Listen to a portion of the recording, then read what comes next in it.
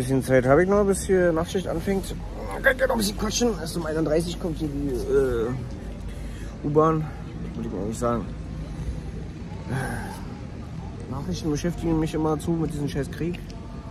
Ich schon ganz oft meine Meinung gesagt.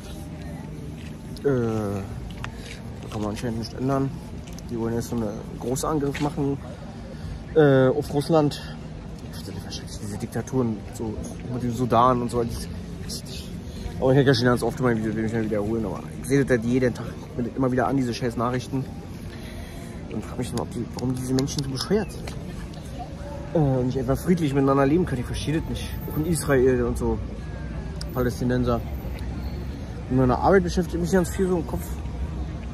Kann ich jetzt aber wieder nicht sagen, alt mal geheim und man darf ja nicht über die Arbeit reden, aber ich denke viel drüber nach. So, letzten zwei Jahre habe ich da gearbeitet und arbeite da immer noch und gebe Mühe und einige Sachen richtig cool.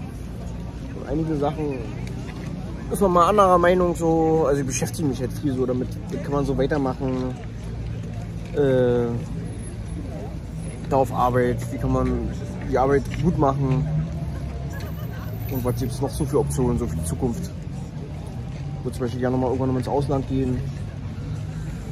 Ja, träume immer noch vom Jackpot. Ich hoffe, morgen kommt Gehalt. Ich wollte unbedingt noch mal was gewinnen. Und ich hoffe nicht, dass ich dann wieder ein Gehalt kommt, wieder alles verzocke. So. Ich denke, ja so traurig bin. Das darf einfach nicht passieren. Nicht noch schon wieder. Ja, ansonsten manchmal bin ich ein bisschen einsam wie immer in meiner Wohnung und manchmal genieße ich auch die Freiheit. So, den ganzen Tag machen, was ich will. Also eigentlich nicht viel Neues, immer dasselbe.